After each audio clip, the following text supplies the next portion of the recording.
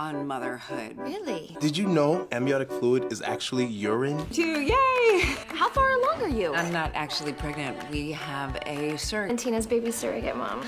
Did you screw the surrogate? Whoa! Um. Huh. I made fresh orange juice for Karen. Folic acid.